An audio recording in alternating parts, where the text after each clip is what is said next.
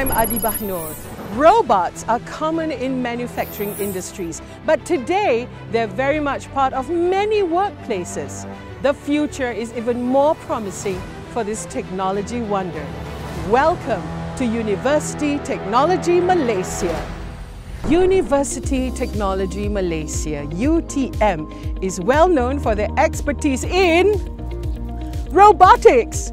UTM produces robots in many shapes and sizes depending on needs. UTM is also known for championing many robot competitions such as the Robocon at the international level. These robots are already being used in our airspace, land and water. Airspace,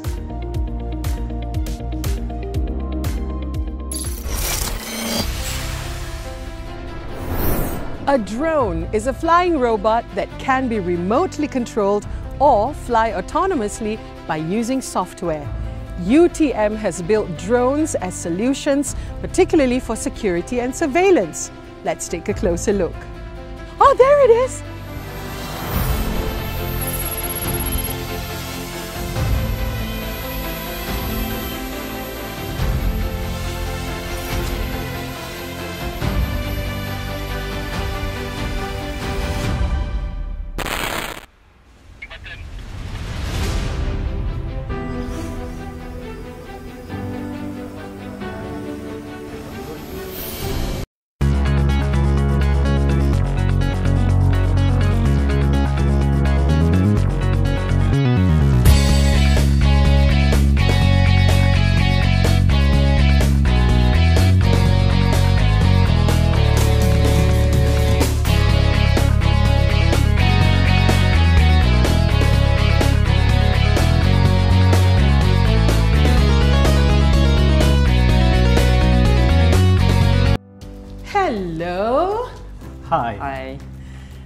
Dr. Nazri and Dr. Adib from the Faculty of Engineering, UTM. So, gentlemen, what's so unique about this drone? All our drones here is uh, autonomous drones. Every single drone come together with their own applications. Okay, so one drones will do a specific service or application to the operator. Right, so what does it do actually, drones? Okay, so drones serve a very wide range of application as far as uh, smart farming, patrolling and surveillance, uh, rescue, disaster, uh, data collections, and then geo information and mapping, photography. So it serves a very wide range of application. Right. Um, I heard that UTM invented this special drone called the Jaga drone. Can you tell me more about it? Yes, of course. The Jaga drone are invented by UTM to assist uh, the security guarding operations. It consists of uh, two main features. Uh, the first one is uh, it will uh, actually respond to the emergency uh, or panic button call, which is triggered by this handheld device. And actually, this handheld device is uh, part of our product features, which is Guard Expert Pro, an IoT-based security patrolling management system. And uh, for example, I give you an example. Uh, in case of any emergency, like the guard being attacked or uh, there's an accident happen, security guard on field can actually press uh, the panic button on this handheld, and then a Jaga drone will come to that particular locations uh, to give uh, the first response to that emergency call before uh, the enforcement can be sent by the HQ. The second features of this Jaga drone, it responds and help for the uh, perimeter surveillance, especially this is for border patrolling. Right. So, who will benefit from this technological device? So I can say every one of us. Okay, so in general, public people will get a benefit from the drones in terms of securities. Authorities, for example, will use drone for patrolling and surveillance. And then companies and the private sector will use that in their uh, business and uh, operation. And last but not least, this is something that I would like to emphasize, the application of drones in STEM education. The next generation drone will be powered by artificial intelligence and machine learning. So as we know, the environment is changing.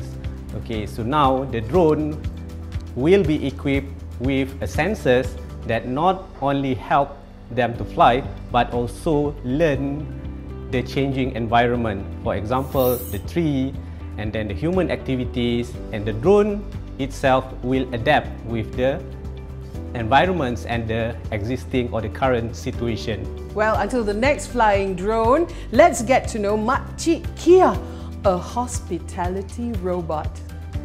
Bye-bye, Jaga Drone.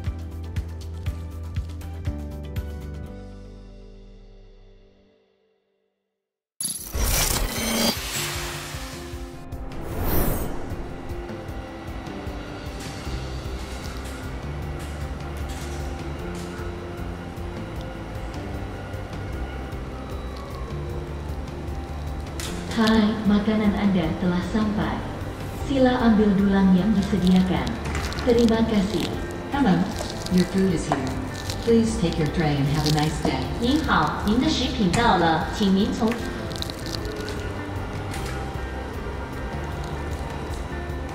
Wow. From air to land, meet MCK19 or Makcik Kia. Amazing. And please welcome its inventor, Dr. Yong. Hello, Dr. Yong. Adiba. How are you? I'm good. I'm so impressed with Makcik Kia. And I was made to understand that she was invented to deliver food and medical supplies. What can you tell us more about? Yes, it indeed. or her? Well, it depends how we call it. But it's a she now because we call it Makcik Kia. Yes. And she is actually a robot, industrial mobile robot. They've been defined to be uh, re-innovate to become a food delivery robot for hospital. Mm-hmm. Yes. It was happening during March when the MCO was kicked in. Uh-huh. At that time, the nurses and the doctor are overwhelmed. But again, during the hospital, we still need to send food to the patient. Yes. But we don't have enough resources. And That's right. frontliner are actually very, very overwhelmed. They don't have PPE Yeah. and all sorts. So we think that we can do something about it. That's why we actually create this uh, Makcik Kia so that we can actually help to send food to the patient so we can help the frontliner a little bit to reduce the task. yeah. Absolutely amazing. How do these robots work, by the way? Well, I mean, uh, this robot was built in by DF Automation. It's a spin-off company from UTM, and this robot has all the basic necessary of a robot. It has a motor, it has sensor, has a battery. Of course, it's a the brain AI to let this robot run to move around from one place to another automatically. Yeah. Um, okay. Um, do you think that robots will replace humans? Well, that's a very common question to be asked, but I mean, looking into back this uh, pandemic, actually the robot is not really replacing, it's actually complement to human. I mean, That's there's a lot of tasks that is dangerous, it's repetitive, it's boring. This is where the robot are very, very useful, and uh, we really need a lot of robot for a lot of tasks. Especially for this COVID-19, actually we need a robot to help us so that, I mean, we can actually try to reduce the infection to uh, people. That's true. Do you only have Makcik Kia or do you have some Pakciks and uh, Atok? do you have other robots? Yeah, well, uh, DF Automation started back in 2012. Our main intention is to have a robot for industry. So basically, in a big manufacturing, sometimes they hire up to a couple of uh, hundred of people to just to pull a trolley. So we use a robot to do the delivery, sometimes up to uh, 500 kg. And uh, I mean, during this uh, pandemic, actually, this uh, opened a new opportunity for us. And the minister actually asked if we can do something for the hospital. That's why we start with the healthcare delivery robot. Yeah. And moving forward, actually, right now we have also have a Pak Saleh, which is Ah. spray disinfection robot. I see. So why spray? Because uh, in a hospital, in a office, in a factory, you need to do disinfection very frequently, and they still use a very labor uh, people to do the job. So actually, we use a robot. So this is second product. Then the third one, we also have UV disinfection robot. Oh. So also for the purpose of uh, disinfection. And beside the healthcare robot, also we do all kind of uh, different application. For example, we do robot to deliver food in sushi restaurant. So we are in a few uh, sushi restaurant in Malaysia. Yeah. Wow. So I understand that you're still lecturing in UTM, an alumni of UTM. What is your advice to inspire people to learn of, about all this robotics in UTM? Well, I mean, to be honest, when I was young, I loved robotics, but uh, I never thought that.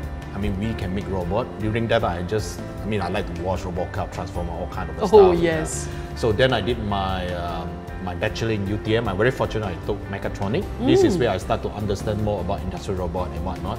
So I did my master, then eventually I become a lecturer. So during this period of time when I was in university, I got a chance to uh, join a lot of robot contests and I represent, I mean myself and my team represent Malaysia to other countries. Then we start to see a lot more other stuff. I mean robot is not just for manufacturing, but there's a lot of other kind of robotic. But back in Malaysia, we, we kind of like doesn't have so much of this kind of robotic company, so that triggered myself and my student to actually try to build this company. So right now we have about 60 staff. Actually, majority of the staff in Wow. DF Automation are actually from uh, UTM. So my advice to the you know to the student, um, I mean, if you want to do robot, just do it. I mean, right now the technology is there, available easily. You can buy a lot of component at a very affordable rate. And of course, I mean, if you want, you can just come to DF to do an internship. You can know how we build robot. Yes. Who knows? you may join us, or maybe you can open another robotic company in the near future. Definitely, very inspirational. Thank you very much, Dr. Yong. I'm so, so inspired by you. All the best to you and your team. Thank you. Now, it's very fascinating to get to know Makcik Kia, Pakcik Saleh, and all these robots. But do you have robots that do things underwater? Hmm?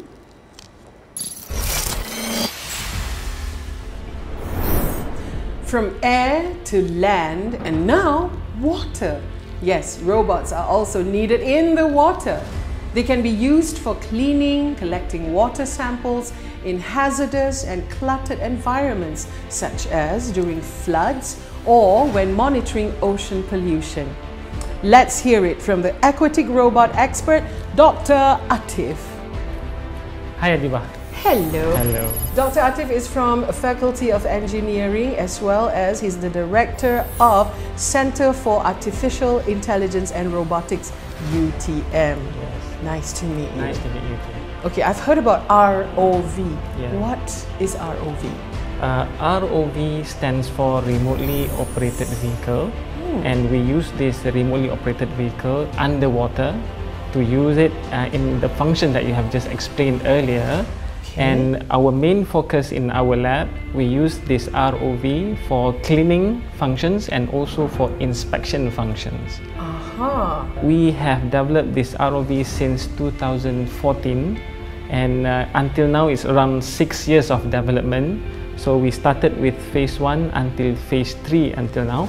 So hopefully we can, we can go for the commercialization activity later on. You're going to show me, right? Yeah, we're going to show you later. Let's go. Okay, thank you. So now we want to go to inspect this robot, right? So we can go Yes. forward. Uh-huh. Okay, so we can see now that robot is doing something. Mm-hmm. And we can go down a little bit. So going down, it will be going down. So we can see now. Now this uh, we are facing each other. Mm. Yeah, so we can see what the ROV Playco is doing. Okay, you can try. So like a remote control car. So that's why we call remotely operated vehicle. So for example, if any emergency search and rescue operation, Yes. so then we can use um, the robot um, together with the uh, Bomba, for example, Uh-uh. and we can uh, uh, hopefully uh, utilize the systems uh, to do the inspection faster. So how low can this thing go? Does it need to be... Yeah, we can go at that now. I think this is around five uh, five meter. The span can be expanded until 100 meter to 300 meter. Oh, wow. and it can go down until 100 meter. We are now uh, talking together with WWF, Uh-huh. and then they would like to see how these systems can be used uh, in Kudat. Oh, Uh, in Kudat, Yeah, yes. yeah, yeah. There are many turtles there, uh, so we can observe the turtles and see the corals as well. So the image that we see here, Yeah. we can train some of the images like for example turtles and then from the numbers uh, from the turtles images we can count them and also we can identify that this is turtle type A, turtle type B. This is how we use AI. Uh, so AI to do to learn the images and later on I mean the, to train and then later on we can apply it uh, to recognize some of the different turtles. Wow. Yes.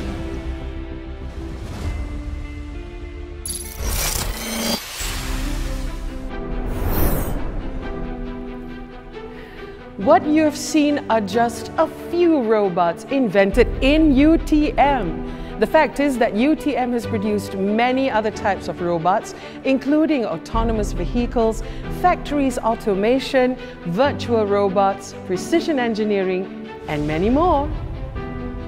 Listed in the world's top 100 best universities in engineering and technology, you can certainly gain skills in the growing fields of robotics by joining UTM and make an impact in the future.